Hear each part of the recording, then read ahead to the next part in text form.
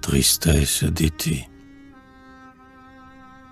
Le soleil sur le sable, ô lutteuse endormie, en l'or de tes cheveux chauffes un bain langoureux, et, consumant l'encens sur ta joue ennemie, il mêle avec les pleurs un breuvage amoureux.